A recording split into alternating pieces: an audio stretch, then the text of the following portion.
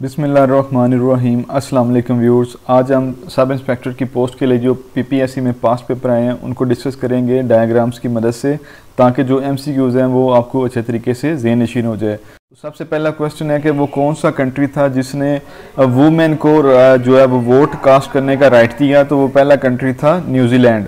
इस तरह आगे सवाल पूछा जा सकता है कि जो करंट प्राइम मिनिस्टर हैं, उनका नाम क्या है? तो उनका नाम है जसिंदा आर्डन, जिसकी, जिनकी पिक आपको साइड पे नज़र आ रही है। इस तरह यह सवाल पूछा जा सकता है कि इसका न्यूजीलैंड का कैपिटल कौन सा सिटी है? तो वो विलिंगटन है। दूसरा क्वेश्चन है कि statistical study of human population को क्या कहते हैं? तो उसको हम डेमोग्राफी कहते हैं। पाकिस्तान में जो पहला सेंसन यानी कि जो पहली स्टडी हुई, उसको जो वो 1951 में हुई, पहला सेंसिस उसके बाद जो जो लास्ट हुआ है, वो है 2017 में। इस तरह आगे क्वेश्चन पूछा जा सकता है कि दुनिया की टोटल आबादी कितनी है तो वो 7.8 बिलियन है।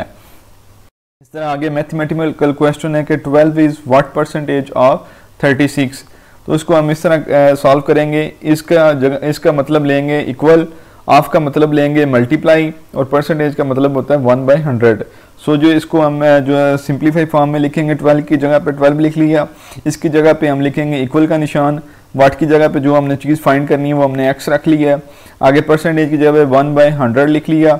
ऑफ़ की जगह पे हमने लिखा मल्टीप्लाई और आगे थर्टी सिक्स इसको आगे हम सॉल्व करेंगे तो हमारे पास एक्स की वैल्यू आ जाएगी thirty three point three so twelve is thirty three point three percentage of thirty six आगे चौथा क्वेश्चन भी मैथमेटिकल है, कि if Mary travelled one sixteen miles on day one one thirty miles on day two one fourteen miles on day three how many miles per day did she average तो average निकालने का formula है कि sum of numbers divided by total numbers तो सम of numbers ऊपर लिख लिए divide कर लिया टोटल नंबर से तो ये हमारे पास एवरेज आ गई one twenty miles per day पांचवा सवाल है कि स्तोला आइलैंड कहाँ पे है? तो स्तोला आइलैंड जो है वो पाकिस्तान में है।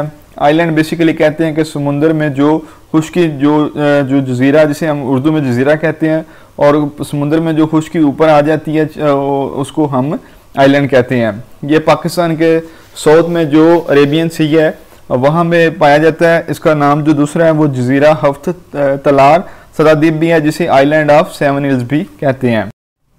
आगे पांचवा क्वेश्चन है कि Chaudhary Rahmat Ali who propose the name of Pakistan is buried in तो वो कहाँ पे दफन है? तो वो कैम्ब्रिज में दफन है। इन्होंने कब पाकिस्तान का नाम प्रपोज किया? इन्होंने 1933 में अपने मैगजीन नो और नेवर में किया था। इस तरह क्वेश्चन है कि जो इन्होंने पाकिस्तान का नाम प्रपोज किया तो उसमें के स्टैंड फॉर कश्मीर है। आगे फिर मैथमेटिकल क्वेश्चन है कि जैक को जो है वो 2.5 पिंट्स ऑफ़ क्रीम चाहिए एक स्वीट्स बनाने के लिए। तो उसको कितने चाहिए होंगी? थ्री स्वीट्स बनाने के लिए पिंट्स तो ये सिंप्लीफाई इसको हम कर लेते हैं। एक डेजर्ट के लिए 2.5 चाहिए। थ्री के लिए हम इसको सिंपली मल्टीप्लाई कर लेंगे। तो ये हमारे पास आंसर आ गया। आगे सवाल है कि Babri mosque which was demolished in 1992 तो वो कहाँ, किस प्रोविंस में इंडिया के किस प्रोविंस में है? तो वो इंडिया के उत्तर प्रदेश, जिसे हम यूपी भी कहते हैं, वहाँ पे है। इसके अलावा एक और सवाल है कि जो ताजमहल है, वो किसने कंस्ट्रक्ट किया? वो शाहजहां ने कंस्ट्रक्ट किया?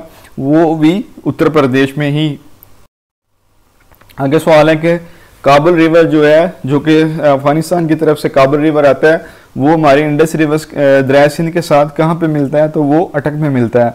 पाकिस्तान का जो सबसे लॉन्गेस्ट रिवर है, वो इंडस रिवर है, दरिया सिंध। इसके अलावा डैम के मतलब सवाल पूछे जाते हैं कि वार्षिक डैम जो है, वो कौन से रिवर पे है? तो वो रिवर काबुल पे है।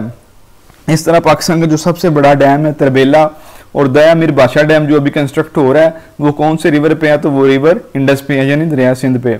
इस तरह जो मंगला डैम है पाकिस्तान का, वो रिवर जेलम पे है। आगे का क्वेश्चन है कि leukemia is disease of leukemia किसकी डिज़ीज़ है? तो ये ब्लड की डिज़ीज़ है। ब्लड में आगे फर्दर ये ब्लड कैंसर की डिज़ीज़ है। आगे आपको डायग्राम साइड पे नज़र आ रही है, जिसमें जो ब्लड में वाइट ब्लड सेल्स होते हैं प्लेटलेट्स होते हैं रेड ब्लड सेल्स होते हैं और प्लाज्मा होता है। इसमें वाइट ब्लड सेल्स का जो काम है, वो हमें डिज़ीज़ से प्रोटेक्ट करना है। प्लेटलेट्स का जो फ़ंक्शन है उसका फ़ंक्शन है कि हमें ब्लीडिंग होने से हमारे ब्लड को बचाना है। इस तरह जो एवरेज ब्लड में बॉडी में कितना ब्लड होता है तो वो फाइव लीटर के करीब होता है।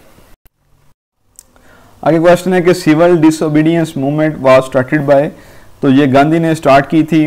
गांधी ने एक दफ़ा कांग्रेस से रिज़ाइन भी कर दिया था, वो 1934 में एक दफ़ा कांग्रेस से इसने क्विट किया था। आगे क्वेश्चन है कि what is the maximum font size जो आप फ़ोन साइज़ किसी भी वर्ड का जो मैक्सिमम वो कितना इंक्रीज़ कर सकते हैं एम एस वर्ड में? तो वो सिक्सटीन थर्टी एट है। यानी मिनिमम वन है और मैक्सिमम जो है वो सिक्सटीन थर्टी एट है फ़ोन साइज़ किसी भी वर्ड का। उसके आगे सवाल है कि ऑटोग्रा ऑटोबायोग्राफी का क्या नाम है अडोफ हिटलर की? तो उसका नाम है मेन कम्फ। ये आपको वो बुक जो नज़र आ रही है, उसकी ऑटोबायोग्राफी वाली। उसके आगे सवाल पूछा जा सकता है, ये कब चांसलर रहा जर्मनी का? तो ये 1933 में चांसलर रहा। ये नाजी पार्टी का लीडर था। आजकल जो है वो चांसलर ऑफ़ जर्मनी कौन है? तो वो अंजीला मार्कल है, जो कि मुसलसल चौथी दफ़ा जो है वो चांसलर बनी है। आगे क्वेश्चन है कि खुदाई खिदमतकार मूवमेंट किसने स्टार्ट की? तो वो अब्दुल गफ़ार खां, जिसे हम बाचा खां भी कहते हैं। इसने स्टार्ट की थी, ये बेसिकली कौन थे? ये पश्तून इंडिपेंडेंस एक्टिविस्ट थे, जिन्होंने ब्रिटिश रूल को ख़त्म करने के लिए इंडिया में काम किया था।